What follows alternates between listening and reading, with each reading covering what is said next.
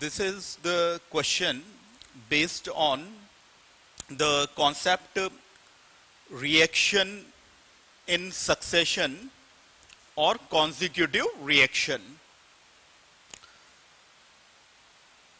Now in it, firstly you have to balance these consecutive reaction. First reaction is balanced, so no problem. Second is also balanced.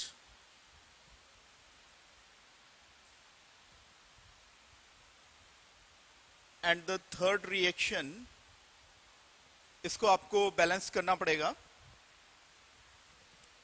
क्योंकि chemical reaction based calculation हमेशा balanced chemical reaction पे ही apply की जा सकती है तो x वाला फैक्टर देखें 8 है, x के एटम्स तो इधर भी हमने 8 कर दिया। तो इससे ये, यहाँ 4 हो गया, n का एटम फाइनली O को हमें बैलेंस करना है कार्बन को हमें बैलेंस करना है तो यहाँ 4 किया।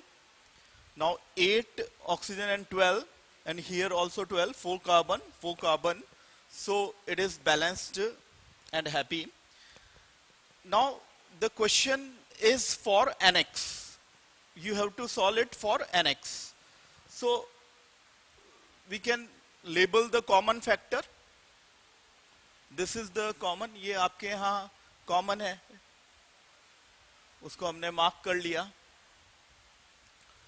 और फिर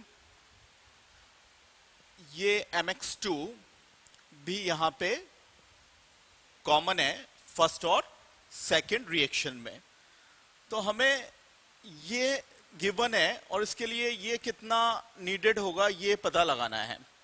तो इनका रिलेशन देखिए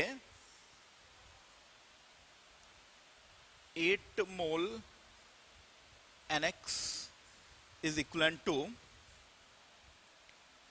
1 mole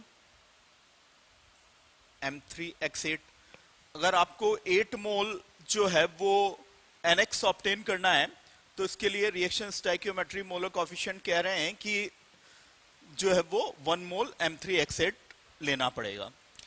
और जो है वो ये वन मोल यहाँ से सप्लाई हो रहा है सेकेंड रिएक्शन से तो इसके लिए हमें चाहिएगा three mole of M two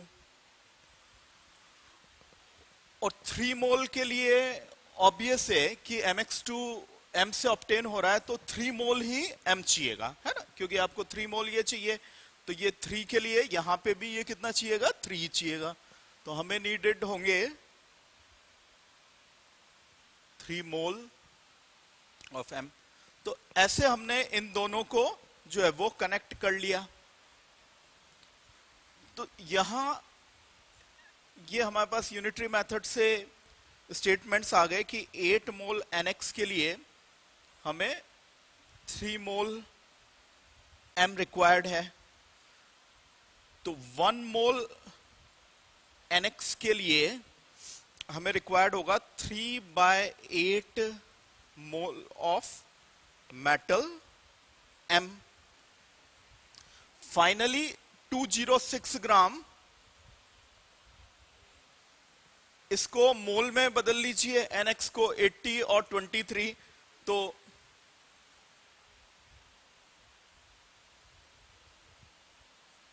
to mole NX के लिए रिक्वायर्ड हो गया three by eight into two mole of M अब इसका आपको मास पूछा है तो मोल को जब आप मोलर मास से मल्टीप्लाई करेंगे मेटल के तो आपको आंसर आ जाएगा।